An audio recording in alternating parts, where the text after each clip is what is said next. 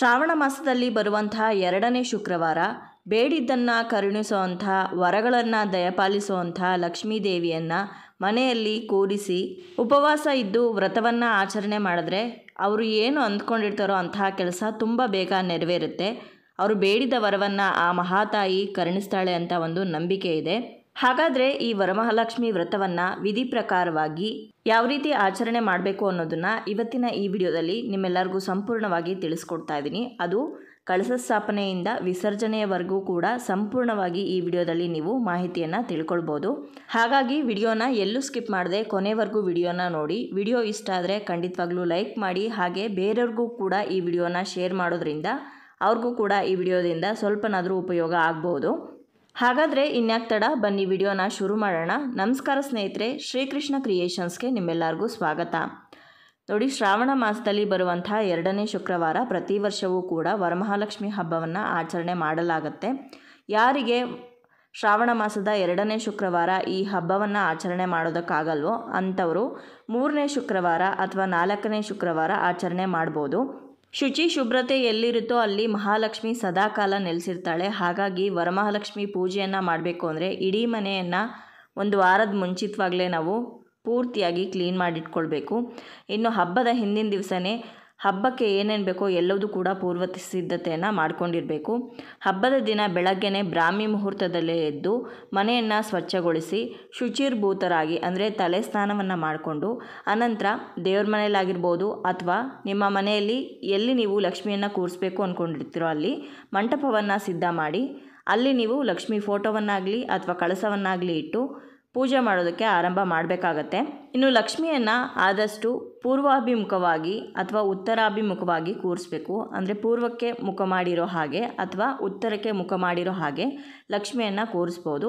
ಇನ್ನೂ ಕೆಲವೊಂದು ಪಕ್ಷದಲ್ಲಿ ಪಶ್ಚಿಮಕ್ಕೆ ಮುಖ ಮಾಡಿರೋ ರೀತಿಯಲ್ಲೂ ಕೂಡ ಲಕ್ಷ್ಮಿಯನ್ನು ಕೂರಿಸ್ಬೋದು. ಆದರೆ ಯಾವುದೇ ಕಾರಣಕ್ಕೂ ದಕ್ಷಿಣಕ್ಕೆ ಮುಖ ಮಾಡಿ ದೇವರನ್ನು ಕೂರಿಸ್ಬೇಡಿ. ಇನ್ನು ಯಾವುದೇ ಪೂಜೆಯನ್ನು ಮಾಡುವಾಗ ಅಥವಾ ವ್ರತವನ್ನು ಮಾಡುವಾಗ ನಮ್ಮ ಮನೆ ದೇವರನ್ನು ನಿರ್ಲಕ್ಷ್ಯ ಮಾಡಬಾರ್ದು. ಮೊದಲು ಮನೆ ದೇವರಿಗೆ ದೀಪವನ್ನು ಹಚ್ಚಿ ಅನಂತರನೇ ಬೇರೆ ಯಾವುದೇ ವ್ರತವನ್ನಾಗಲಿ, ಪೂಜೆಯನ್ನಾಗಲಿ ಮಾಡಬೇಕಾಗತ್ತೆ. ಮನೆ ದೇವ್ರ ಫೋಟೋ ಹಿಂದಿನ ದಿವಸನೇ ನೀಟಾಗಿ ಒರೆಸ್ಕೊಂಡಿರಿ, ಅರ್ಶಿನ ಕುಂಕುಮನೂ ಕೂಡ ಇಟ್ಕೊಂಡಿರಿ. ಬೆಳಗ್ಗೆ ಎದ್ದು ಹೂವನ್ನು ಹಾಕಿ ದೀಪವನ್ನು ಹಚ್ಚಿ ಅನಂತರ ನೀವು ಲಕ್ಷ್ಮೀ ಪೂಜೆಯನ್ನು ಮುಂದುವರಿಸ್ಬೋದು. ಇವಾಗ ಕಳಸ ಸ್ಥಾಪನೆಯನ್ನು ಯಾವ ರೀತಿ ಮಾಡಬೇಕು ಅಂತ ನೋಡ್ಕೊಳ್ಳೋಣ. ಕಳಸ ಸ್ಥಾಪನೆಗೆ ಒಂದು ಪೀಠವನ್ನು ಇಟ್ಕೋಬೇಕು. ಆ ಪೀಠದ ಮೇಲೆ ಸ್ವಲ್ಪ ಅರ್ಶನವನ್ನು ಹಚ್ಚಬೇಕು ಅರ್ಶನವನ್ನು ಹಚ್ಚಿದ ನಂತರ ಅದರ ಮೇಲೆ ಅಷ್ಟದಳ ಪದ್ಮದ ರಂಗೋಲಿಯನ್ನಾಗಲಿ ಅಥವಾ ಲಕ್ಷ್ಮೀ ಹೃದಯ ಕಮಲಂ ರಂಗೋಲಿಯನ್ನಾಗಲಿ ಹಾಕ್ಕೊಳ್ಬೇಕು ಈ ವಿಡಿಯೋದಲ್ಲಿ ಬ್ರೀಫಾಗಿ ತೋರಿಸ್ತೀನಿ ಯಾವ ರೀತಿ ರಂಗೋಲಿಯನ್ನು ಹಾಕಬೇಕು ಅಂತ. ನಾನು ಈಗಾಗಲೇ ಎರಡು ಮೂರು ವರ್ಷದ ಹಿಂದೆಯೇ ಲಕ್ಷ್ಮೀ ಹೃದಯ ಕಮಲಂ ರಂಗೋಲಿಯನ್ನು ಹೇಗೆ ಹಾಕಬೇಕು ಅಂತ ವಿಡಿಯೋ ಮಾಡಿ ತಿಳಿಸಿದ್ದೀನಿ ನೀವು ಬೇಕಿದ್ರೆ ಡೀಟೇಲ್ ಆಗಿ ಆ ವಿಡಿಯೋನ ನೋಡಿ ತಿಳ್ಕೊಳ್ಬೋದು. ನೋಡಿ, ತುಂಬ ಸರಳವಾಗಿ ತೋರಿಸ್ತಾ ಇದ್ದೀನಿ ಈ ರಂಗೋಲಿಯನ್ನು ಪೂರ್ತಿಯಾಗಿ ಹಾಕ್ಕೊಂಡು ರಂಗೋಲಿಗೆ ಅರ್ಶಿನ ಕುಂಕುಮ, ಅಕ್ಷತೆಯನ್ನು ಹಾಕಿ ಪೀಠದ ಪೂಜೆ ಮಾಡ್ಕೊಂಡಿದ ನಂತರ ಅದರ ಮೇಲೆ ಬಾಳೆ ಎಲೆ ಆಗಲಿ ಅಥವಾ ಒಂದು ತಟ್ಟೆಯನ್ನಾಗಲಿ ಇಟ್ಕೋಬೇಕು. ಬಾಳೆ ಎಲೆ ಇಟ್ಕೊಳ್ಳೋದಾದರೆ ತುದಿ ಏನಿರುತ್ತೆ ಅದು ಬಲಭಾಗಕ್ಕೆ ಬರೋ ರೀತಿ ಇಟ್ಕೋಬೇಕು. ದೇವರಿಗಿನ ಬಲಭಾಗಕ್ಕೆ. ಇನ್ನು ತಟ್ಟೆ ಇಟ್ಟರೆ ಏನು ತೊಂದರೆ ಇಲ್ಲ. ಬೆಳ್ಳಿದಾಗಲಿ, ಕಂಚಿಂದಾಗಲಿ ಅಥವಾ ತಾಮ್ರದ್ದಾಗಲಿ ನೀವು ಇಟ್ಕೊಳ್ಬೋದು. ಅದರೊಳಗಡೆ ಅಕ್ಕಿಯನ್ನು ಹಾಕಬೇಕು. ಅಕ್ಕಿ ಹಾಕೊಂಡಿದ ನಂತರ ಅದರ ಮೇಲೆ ನೀವು ಯಾವ ಒಂದು ಕಳಸದ ಬಿಂದಿಗೆಯಲ್ಲಿ ಲಕ್ಷ್ಮಿಯನ್ನು ಕೂರಿಸ್ತೀರೋ ಆ ಕಳಸವನ್ನು ಆ ಅಕ್ಕಿಯ ಮೇಲೆ ಇಟ್ಕೋಬೇಕು. ಕೆಲವರು ಒಂದೇ ಕಳಸಕ್ಕೆ ಸೀರೆಯನ್ನು ಉಡಿಸ್ತಾರೆ, ಇನ್ನು ಕೆಲವರು ಎರಡು ಕಳಸವನ್ನು ಇಡ್ತಾರೆ, ಕೆಲವರು ಮೂರು ಕಳಸ ಇಡ್ತಾರೆ. ನಿಮ್ಮ ಪದ್ಧತಿಯ ಅನುಸಾರವಾಗಿ ಹಾಗೆ ಸೀರೆಯನ್ನು ಯಾವ ರೀತಿ ಹುಡ್ಸೋದಕ್ಕೆ ಸರಿ ಬರುತ್ತೋ ನೋಡಿಕೊಂಡು ನೀವು ಕಳಸವನ್ನು ಇಟ್ಕೊಳ್ಬೋದು. ನಾನಿಲ್ಲಿ ನಿಮಗೆ ಡೆಮೋಗೆ ತೋರಿಸ್ತಾ ಇರೋದ್ರಿಂದ ಒಂದೇ ಒಂದು ಚಿಕ್ಕ ಕಳಸವನ್ನು ಇಟ್ಕೊಂಡಿದ್ದೀನಿ. ಇವಾಗ ಕಳಸದ ಒಳಗಡೆ ಹಾಕುವಂಥ ವಸ್ತುಗಳನ್ನೆಲ್ಲ ಹಾಕಬೇಕು. ಅರ್ಶಿನ ಕುಂಕುಮ, ಚಿನ್ನದ ಒಂದು ವಸ್ತು, ಹಾಗೆ ಬೆಳ್ಳಿದು ವಸ್ತು ಅರ್ಶಿನದ ಕೊಂಬು, ಬಟ್ಲಡಿಕೆ, ಆರು ಕವಡೆ, ಆರು ಗೋಮತಿ ಚಕ್ರ, ಆರು ಕಮಲದ ಬೀಜ, ಆರು ಏಲಕ್ಕಿ, ಆರು ಲವಂಗ, ಹಾಗೆ ಡ್ರೈ ಫ್ರೂಟ್ಸ್ಗಳು ಗೋಡಂಬಿ, ಬಾದಾಮಿ, ಉತ್ತತ್ತಿ ಹಣ್ಣು ಕಲ್ಸಕ್ಕರೆ ಲಾವಂಚದ ಬೇರು ಸಿಕ್ಕಿದ್ರೆ ಅದನ್ನು ಕೂಡ ಹಾಕಿ, ಹಾಗೆ ಜಾವದ್ದು ಪೌಡ್ರ್ ಅಂತ ಸಿಗುತ್ತೆ, ಅದನ್ನು ಕೂಡ ಈ ಕಳಸದ ಒಳಗಡೆ ಹಾಕ್ಕೊಳ್ಬೇಕು ನಾನು ಈಗಾಗಲೇ ಕಳಸದ ಒಳಗಡೆ ಯಾವ್ಯಾವ ವಸ್ತುಗಳನ್ನು ಹಾಕಬೇಕು ಅಂತ ಹಿಂದಿನ ವಿಡಿಯೋದಲ್ಲಿ ತಿಳಿಸ್ಕೊಟ್ಟಿದ್ದೀನಿ. ಯಾರಾದರೂ ನೋಡಿರಲಿಲ್ಲ ಅಂದರೆ ಹೋಗಿ ನೋಡ್ಕೊಂಡು ಬನ್ನಿ. ನಿಮಗೆ ಡೀಟೇಲಾಗಿ ಅದರಲ್ಲಿ ಅರ್ಥ ಆಗುತ್ತೆ. ಇವಾಗ ಒಂದು ಹೂವನ್ನು ಕೂಡ ಆ ಕಳಸದ ಒಳಗಡೆ ಹಾಕ್ಕೊಂಡು ಆ ಹೂವನ್ನು ಆ ನೀರಿನಲ್ಲಿ ಅದ್ದಿ ನಾವು ಇಟ್ಕೊಂಡಿರೋಂಥ ಎಲ್ಲ ವಸ್ತುಗಳಿಗೂ ಕೂಡ ಪ್ರೋಕ್ಷಣೆ ಮಾಡಬೇಕು, ಶುದ್ಧಿ ಮಾಡಬೇಕು. ಗಂಗೆಯನ್ನು ಮನಸ್ಸಿನಲ್ಲಿ ಪ್ರಾರ್ಥನೆ ಮಾಡಿಕೊಂಡು ಅನಂತರ ಕಳಸ ಸ್ಥಾಪನೆ ಶುರು ಮಾಡಬೇಕು. ಇವಾಗ ಮಾಂಗಲ್ಯವನ್ನು ಆ ಕಳಸಕ್ಕೆ ಕಟ್ತಾ ಇದ್ದೀನಿ. ಅರ್ಶನದ ಕೊಂಬಿನಲ್ಲಿ ಮಾಡಿರುವಂಥ ಮಾಂಗಲ್ಯ ಚಿನ್ನದಿದ್ದರೆ ಚಿನ್ನದ ಹಾಕ್ಕೋಬೋದು ಬೆಳ್ಳಿದಿದ್ದರೆ ಬೆಳ್ಳಿದು ಕೂಡ ಹಾಕ್ಕೊಳ್ಬೋದು ಅನಂತರ ಐದು ವೀಳ್ಯದೆಲೆನ ಇಟ್ಟು ಅಲಂಕಾರ ಮಾಡಿರುವಂಥ ತೆಂಗಿನಕಾಯನ್ನು ಇಟ್ಕೊಳ್ಬೇಕು. ವೀಳ್ಯದೆಲೆ ಅಥವಾ ಮಾವಿನೆಲೆ, ಯಾವುದಾದ್ರೂ ಇಟ್ಕೊಳ್ಬೋದು. ಇನ್ನು ಅಲಂಕಾರವನ್ನು ನಿಮಗೆ ಹೇಗೆ ಬೇಕೋ ಹಾಗೆ ಮಾಡ್ಕೊಳ್ಬೋದು. ಸೀರೆ ಉಡ್ಸೋದಾದರೆ ಸೀರೆ ಉಡಿಸ್ಬೋದು, ಬ್ಲೌಸ್ ಪೀಸ್ ಆದರೆ ಬ್ಲೌಸ್ ಪೀಸ್ ಉಡಿಸ್ಬೋದು ಅಥವಾ ನಾವು ಅಷ್ಟೊಂದು ಗ್ರ್ಯಾಂಡಾಗಿ ಮಾಡಲ್ಲ ಸಿಂಪಲ್ಲಾಗಿ ಕಾಯಿ ಇಟ್ಟು ಮಾಡ್ತೀವಿ ಅಂತಂದರೆ ಸರಳವಾಗಿ ಕಾಯನ್ನೇ ಇಟ್ಟು ಪೂಜೆಯನ್ನು ಮಾಡ್ಬೋದು. ಇನ್ನು ಕಳಸ ಸ್ಥಾಪನೆಯನ್ನು ಯಾವುದೇ ಕಾರಣಕ್ಕೂ ಹಿಂದಿನ ದಿವಸನೇ ಮಾಡಬಾರ್ದು.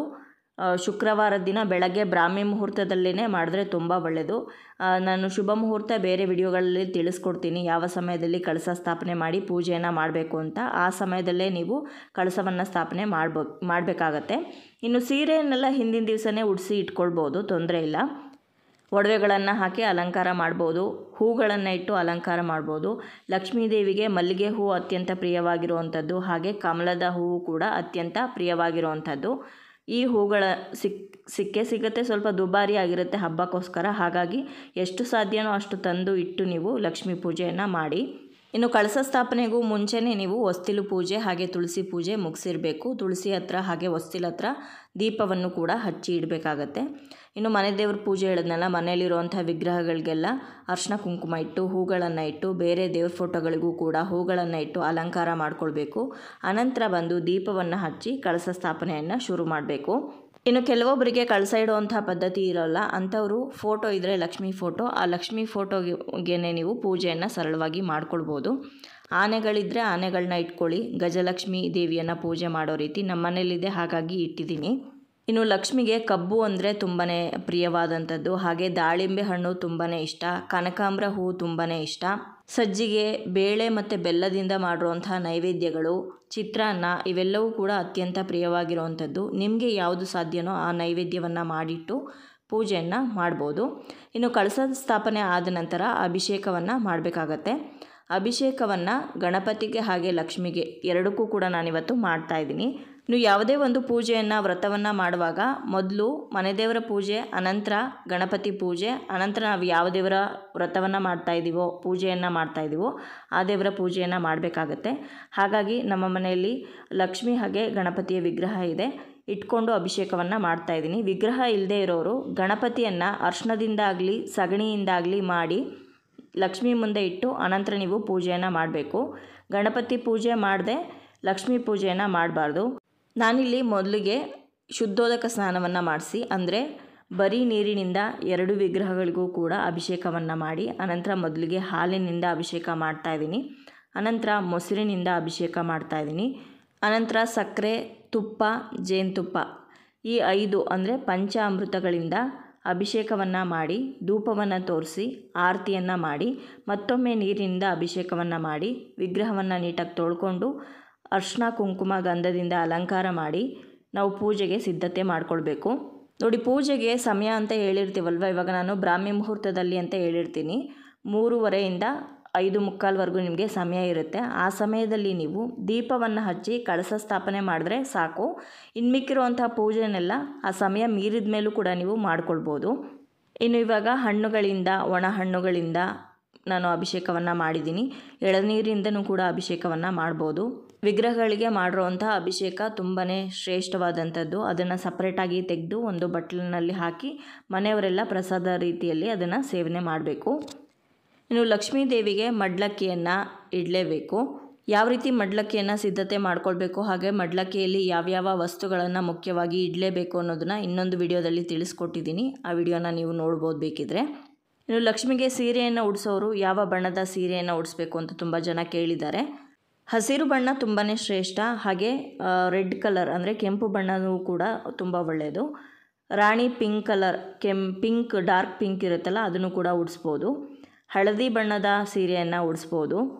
ಡಾರ್ಕ್ ಬ್ಲೂ ಉಡ್ಸೋದಕ್ಕೆ ಹೋಗಬೇಡಿ, ಲೈಟ್ ಕಲರ್ ಬ್ಲೂನ ಉಡಿಸ್ಬೋದು ಆರಾಮಾಗಿ. ಇನ್ನು ಸೀರೆಯಲ್ಲಿ ಆದಷ್ಟು ಕಪ್ಪು ಬಣ್ಣ ಹಾಗೆ ಬೂದಿ ಬಣ್ಣ ಇಲ್ಲದೆ ಇರೋ ಹಾಗೆ ನೋಡ್ಕೊಳ್ಬೇಕು. ಇವಾಗ ಅಭಿಷೇಕ ಮಾಡಿರೋಂಥ ವಿಗ್ರಹಗಳನ್ನ ಇಟ್ಕೊಂಡಿದ್ದೀನಿ. ಮೊದಲಿಗೆ ಗಣಪತಿಗೆ ಅರ್ಶಿನ, ಕುಂಕುಮ ಹಾಗೆ ಅಕ್ಷತೆಯನ್ನು ಅರ್ಪಿಸಿ, ಈ ಒಂದು ಪೂಜೆಯಲ್ಲಿ ಯಾವುದೇ ವಿಘ್ನ ಬಾರದೇ ಇರಲಿ ಅಂತ ಗಣಪತಿಯನ್ನು ಬೇಡಿಕೊಂಡು ಗಣಪತಿಗೆ ಪಂಚೋಪಚಾರ ಪೂಜೆಯನ್ನು ನೆರವೇರಿಸ್ತಾ ಇದ್ದೀನಿ. ಗಣಪತಿಯ ಶ್ಲೋಕಗಳು ನಿಮಗೆ ಗೊತ್ತಿದ್ದರೆ ಅದನ್ನು ಹೇಳಿಕೊಂಡು ಗಣಪತಿಗೆ ಒಂದೆರಡು ಪತ್ರೆಗಳು ಹಾಗೆ ಹೂವುಗಳನ್ನು ಅರ್ಪಿಸಿ ಗಣಪತಿಯ ಪೂಜೆಯನ್ನು ಮುಗಿಸ್ಬೋದು. ನಿಮಗೆ ಮಂತ್ರದ ಸಮೇತವಾಗಿ ನೀವು ಪೂಜೆಯನ್ನು ಮಾಡಬೇಕು ಅಂತ ಅಂದ್ಕೊಂಡಿದ್ರೆ ಅಥವಾ ವ್ರತವನ್ನು ಮಾಡ್ಕೋಬೇಕು ಅಂತ ಅಂದ್ಕೊಂಡಿದ್ರೆ ವ್ರತದ ಬುಕ್ ಇವಾಗೆಲ್ಲ ವರಮಹಾಲಕ್ಷ್ಮಿದು ಸಿಗುತ್ತೆ. ಅದನ್ನು ತೊಗೊಂಡು ಬಂದು ಇಟ್ಕೊಂಡು ಮಂತ್ರವನ್ನು ಓದ್ಕೊಂಡು ನೀವು ವ್ರತವನ್ನು ಮಾಡ್ಬೋದು. ಅಥವಾ ಆಡಿಯೋ ಬುಕ್ಗಳು ನಿಮಗೆ ಯೂಟ್ಯೂಬಲ್ಲಿ ಸಿಗುತ್ತೆ. ವರಮಹಾಲಕ್ಷ್ಮಿ ವ್ರತದ ಆಡಿಯೋ ಬುಕ್ ಅಂತ ಕೇಳಿದ್ರೆ ಸಿಗುತ್ತೆ. ಅದನ್ನು ಪ್ಲೇ ಮಾಡಿಕೊಂಡು ಅವರೇ ವ್ರತವನ್ನು ಹೇಳ್ತಾ ಇರ್ತಾರೆ ಮಂತ್ರದ ಸಮೇತ.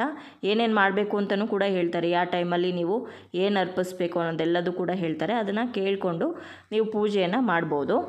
ಆದಷ್ಟು ನೀವೇ ಮಂತ್ರಗಳನ್ನೆಲ್ಲ ಓದ್ಕೊಂಡು ಪೂಜೆ ಮಾಡಿದ್ರೆ ತುಂಬಾ ಒಳ್ಳೆಯದು ಸ್ವಲ್ಪ ಸಮಯ ಜಾಸ್ತಿ ಹಿಡಿಸುತ್ತೆ ಆದರೆ ಅದೇ ಶ್ರೇಷ್ಠ.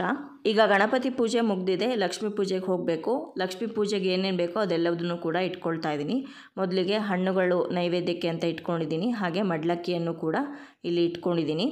ಇನ್ನು ಲಕ್ಷ್ಮೀ ಪೂಜೆಗೆ ಎಷ್ಟು ತಟ್ಟೆಯನ್ನು ಜೋಡಿಸ್ಬೇಕು, ಯಾವ್ಯಾವ ತಟ್ಟೆಗಳು ಮುಖ್ಯವಾಗಿ ಜೋಡಿಸ್ಬೇಕು ಅನ್ನೋದನ್ನು ಕೂಡ ಸಪ್ರೇಟ್ ವಿಡಿಯೋ ಮಾಡಿ ಹಿಂದಿನ ವರ್ಷನೇ ಅಪ್ಲೋಡ್ ಮಾಡಿದ್ದೀನಿ. ನೋಡ್ಬೋದು ನೀವು. ಈಗ ಲಕ್ಷ್ಮೀ ಪೂಜೆ ಆರಂಭ ಮಾಡೋಣ. ಲಕ್ಷ್ಮೀ ವಿಗ್ರಹಕ್ಕೆ ಹಾಗೆ ಕಳಸಕ್ಕೆ ಅರ್ಶನ ಕುಂಕುಮವನ್ನು ಅರ್ಪಿಸ್ಬೇಕು. ಅಕ್ಷತೆಯನ್ನು ಕೂಡ ಅರ್ಪಿಸ್ಬೇಕು. ಲಕ್ಷ್ಮೀ ಕಳಸವನ್ನು ಎರಡೂ ಕೈಯಲ್ಲಿ ಹಿಡಿದಿಟ್ಕೊಂಡು ಲಕ್ಷ್ಮೀ ದೇವಿಯನ್ನು ಆವಾಹನೆ ಮಾಡಬೇಕು. ಈ ವರ್ಷ ಈ ಮಟ್ಟಿಗೆ ಪೂಜೆಯನ್ನು ನೆರವೇರಿಸ್ತಾ ಇದ್ದೀನಿ. ಮುಂದಿನ ಸಲ ಇನ್ನೂ ಚೆನ್ನಾಗಿ ಹಬ್ಬವನ್ನು ಮಾಡುವಂಥ ಶಕ್ತಿಯನ್ನು ನನಗೆ ದಯಪಾಲಿಸುವಂಥ ಲಕ್ಷ್ಮಿಯನ್ನು ಬೇಡಿಕೊಂಡು ಪೂಜೆಯನ್ನು ಆರಂಭ ಮಾಡಬೇಕು. ಧೂಪವನ್ನು ತೋರಿಸೋದ್ರ ಮುಖಾಂತರ. ಇನ್ನು ವ್ರತದ ದಾರವನ್ನು ತಯಾರು ಮಾಡಿ ಅದನ್ನು ಕೂಡ ಲಕ್ಷ್ಮಿ ಹತ್ರ ಇಡಬೇಕು. ವ್ರತದ ದಾರವನ್ನು ಹೇಗೆ ಮಾಡಬೇಕು ಅಂತ ಮುಂದೆ ವಿಡಿಯೋದಲ್ಲಿ ತಿಳಿಸ್ಕೊಡ್ತೀನಿ. ಹನ್ನೆರಡು ಗಂಟು ಹಾಗೆ ಹನ್ನೆರಡು ಎಳೆಯ ದಾರವನ್ನು ತಗೊಂಡು ಹೂವನ್ನು ಕಟ್ಟಿ ಆ ಒಂದು ವ್ರತದ ದಾರವನ್ನು ತಯಾರು ಮಾಡಿಕೊಂಡು ಅದನ್ನು ಲಕ್ಷ್ಮೀ ದೇವಿ ಹತ್ರ ಇಟ್ಟು ಆ ವ್ರತದ ದಾರಕ್ಕೆ ಪೂಜೆಯನ್ನು ನೆರವೇರಿಸಬೇಕು. ಅರ್ಶನ ಒಂದೊಂದು ಗಂಟೆಗೂ ಕೂಡ ಒಂದೊಂದು ಹೆಸರನ್ನು ಹೇಳಿಕೊಂಡು ಪೂಜೆಯನ್ನು ಮಾಡಬೇಕು. ಕುಂಕುಮ, ಅರ್ಶನ, ಹೂವು ಎಲ್ಲದನ್ನು ಕೂಡ ಆ ಗಂಟುಗಳಿಗೆ ಅರ್ಪಿಸಿ ಪೂಜೆಯನ್ನು ಮಾಡ್ಕೊಂಡಿದ ನಂತರ ಲಕ್ಷ್ಮಿ ಅರ್ಚನೆ ಶುರುವಾಗುತ್ತೆ. ವಿವಿಧ ಬಗೆಯ ಹೂಗಳಿಂದ, ವಿವಿಧ ಬಗೆಯ ಪತ್ರೆಗಳಿಂದ ಅರ್ಚನೆಯನ್ನು ಮಾಡಬೇಕು. ಒಂದೊಂದು ಪತ್ರೆಗೂ ಒಂದೊಂದು ಹೆಸರಿದೆ. ಅದೆಲ್ಲವೂ ಕೂಡ ನಿಮಗೆ ಬುಕ್ಕಲ್ಲಿ ಸಿಗುತ್ತೆ. ಮರುಗಪತ್ರಂ ಸಮರ್ಪಯಾಮಿ, ದವನಪತ್ರಂ ಸಮರ್ಪಯಾಮಿ, ಪಾಟಲಿಪತ್ರ ಸಮರ್ಪಯಾಮಿ ಈ ರೀತಿ ಒಂದೊಂದು ಪತ್ರೆಗಳನ್ನು ನೀವು ಅರ್ಪಿಸ್ಬೇಕಾಗತ್ತೆ. ಅನಂತರ ಹೂಗಳು ಕೂಡ ಜಾಜಿ ಪುಷ್ಪಂ ಸಮರ್ಪಯಾಮಿ ಸೇವಂತಿಕಾ ಪುಷ್ಪಂ ಸಮರ್ಪಯಾಮಿ ಅಂತ ಒಂದೊಂದು ಹೇಳುವಾಗ ಆ ಹೂಗಳನ್ನು ದೇವಿಗೆ ಅರ್ಪಿಸಿ ಪೂಜೆಯನ್ನು ಮಾಡಬೇಕು. ವಿವಿಧ ಹೂಗಳಿಂದ, ವಿವಿಧ ಪುಷ್ಪಗಳಿಂದ ಪೂಜೆಯನ್ನು ಮಾಡಿದ ನಂತರ ಕುಂಕುಮಾರ್ಚನೆಯನ್ನು ಮಾಡಬೇಕು. ಕುಂಕುಮಾರ್ಚನೆಯನ್ನು ದೇವಿಯ ಅಷ್ಟೋತ್ರವನ್ನು ಹೇಳಿಕೊಂಡು ಅರ್ಚನೆಯನ್ನು ಮಾಡಬೇಕಾಗತ್ತೆ. ಅಷ್ಟೋತ್ತರ ನೀವು ಮಾಡುವಾಗ ವಿಗ್ರಹ ಇದ್ದರೆ ವಿಗ್ರಹಕ್ಕೇ ನೀವು ಕುಂಕುಮವನ್ನು ಅರ್ಚನೆ ಮಾಡ್ಬೋದು. ಅಥವಾ ಒಂದು ಬೆಳ್ಳಿ ಅಥವಾ ಚಿನ್ನದ ಕಾಯಿನ್ ಅಥವಾ ನಾರ್ಮಲ್ ಒಂದು ರೂಪಾಯಿ, ಐದು ರೂಪಾಯಿ ಕಾಯಿನ್ ಇರುತ್ತಲ್ಲ, ಅದನ್ನು ವೀಳ್ಯದೆಲೆ ಮೇಲಿಟ್ಟು ಅದಕ್ಕೂ ಕೂಡ ನೀವು ಅರ್ಚನೆಯನ್ನು ಮಾಡ್ಬೋದು. ಅದು ಯಾವುದೂ ಇಲ್ಲ ಅಂದರೆ ಒಂದು ನಿಂಬೆಹಣ್ಣನ್ನು ಒಂದು ಬಟ್ಲಲ್ಲಿ ತಗೊಂಡು ಆ ನಿಂಬೆಹಣ್ಣಿನ ಮೇಲೆ ಮೊದಲು ಅರ್ಶನವನ್ನು ಹಾಕಿ, ಅನಂತರ ನೀವು ಉಗುರಿನ ಬೆರಳಲ್ಲಿ ಕುಂಕುಮವನ್ನು ಆ ನಿಂಬೆಹಣ್ಣಿನ ಮೇಲೆ ಹಾಕ್ತಾ ಅರ್ಚನೆಯನ್ನು ಮಾಡಬೇಕಾಗತ್ತೆ.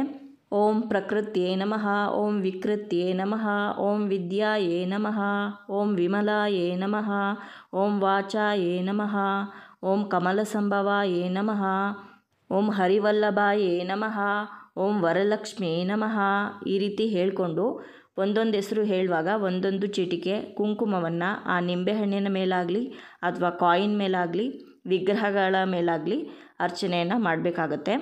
ಅರ್ಚನೆ ಮಾಡುವಂತಹ ಕುಂಕುಮಕ್ಕೆ ತುಂಬಾ ಶಕ್ತಿ ಇರುತ್ತೆ. ಅದನ್ನು ಪ್ರತಿನಿತ್ಯವೂ ಕೂಡ ನೀವು ಹಣೆಯಲ್ಲಿ ಧರಿಸಿದ್ರೆ ತುಂಬ ಒಳ್ಳೆಯದು ಇವಾಗ ಅಭಿಷೇಕ ಆಯಿತು, ಗಣಪತಿ ಪೂಜೆ ಆಯಿತು, ವ್ರತದ ದಾರದ ಪೂಜೆ ಆಯಿತು, ಹೂಗಳಿಂದ, ಪತ್ರಗಳಿಂದ ಲಕ್ಷ್ಮೀ ಪೂಜೆ ಮಾಡಿದ್ದಾಯಿತು, ಕುಂಕುಮಾರ್ಚನೆ ಕೂಡ ಮುಗೀತು. ಇವಾಗ ಧೂಪವನ್ನು ತೋರಿಸ್ಬೇಕು. ಅಗರಬತ್ತಿಯನ್ನು ಹಚ್ಕೊಂಡು ಧೂಪವನ್ನು ಲಕ್ಷ್ಮೀ ದೇವಿಗೆ ಮಾಡಿ, ಅನಂತರ ತುಪ್ಪದ ಬತ್ತಿಯನ್ನು ಹಚ್ಕೊಂಡು ತುಪ್ಪದ ಆರತಿಯನ್ನು ಮಾಡಬೇಕು. ಅನಂತರ ನೈವೇದ್ಯವನ್ನು ಅರ್ಪಿಸಬೇಕು. ನೈವೇದ್ಯಕ್ಕೆ ನೀವಿಟ್ಟಿರೋ ಅಂಥ ಪಂಚಫಲಗಳನ್ನು, ಅಂದರೆ ಐದು ರೀತಿಯಾದಂತಹ ಹಣ್ಣುಗಳನ್ನು ಅರ್ಪಿಸ್ಬೋದು, ಹಸಿ ಹಾಲನ್ನು ನೈವೇದ್ಯವನ್ನಾಗಿ ಮಾಡ್ಬೋದು, ಕಾಯನ್ನು ಒಡೆದು ಕೂಡ ನೀವು ನೈವೇದ್ಯವನ್ನು ಮಾಡ್ಬೋದು. ಇದಲ್ಲದೆ ಬೇಳೆಯಿಂದ, ಬೆಲ್ಲದಿಂದ ಮಾಡಿರೋಂಥ ನೈವೇದ್ಯ, ಅಂದರೆ ಹೋಳಿಗೆ ಆಗಿರ್ಬೋದು, ಪಾಯಸ ಆಗಿರ್ಬೋದು, ಈ ರೀತಿಯಾಗಿ ನಿಮ್ಮ ಕೈಲಿ ಏನು ಸಾಧ್ಯನೋ ಅದನ್ನು ದೇವರಿಗೆ ಮಾಡಿಟ್ಟು ನೈವೇದ್ಯವನ್ನು ಮಾಡ್ಬೋದು. ಬೆಳಗ್ಗೆನೆ ಬೇಗ ಪೂಜೆ ಮಾಡೋರು ಹಣ್ಣುಗಳನ್ನು ಅಥವಾ ಹಾಲನ್ನು ಇಟ್ಟು ನೈವೇದ್ಯ ಮಾಡಿ ಅನಂತರ ನೀವು ಮನೆಯಲ್ಲಿ ಹೋಳಿಗೆಯನ್ನು ಮಾಡಿ ನೈವೇದ್ಯ ಮಾಡ್ಬೋದು. ಇವಾಗ ದೇವರಿಗೆ ನೈವೇದ್ಯವನ್ನು ಅರ್ಪಿಸಿ, ನಾನು ಪಂಚಾರತಿಯನ್ನು ಮಾಡ್ತಾ ಇದ್ದೀನಿ. ಪಂಚಾರತಿ ಐದು ಬತ್ತಿಗಳನ್ನು ಹಾಕಿ, ತುಪ್ಪವನ್ನು ಹಾಕಿ ಮಾಡುವಂಥ ಆರತಿ. ನಿಮ್ಮಲ್ಲಿ ಇದು ಇದ್ದರೆ ಮಾಡಿ ಇಲ್ಲದೇ ಇರೋರು ಒಂದೇ ಇವಾಗ ನಾರ್ಮಲಾಗಿ ನಾವು ಪೂಜೆ ಮಾಡ್ತೀವಲ್ಲ ಅದಕ್ಕೇ ಐದು ಬತ್ತಿಗಳನ್ನು ಹಾಕಿ, ತುಪ್ಪವನ್ನು ಹಾಕಿ ಆರತಿಯನ್ನು ಮಾಡ್ಬೋದು.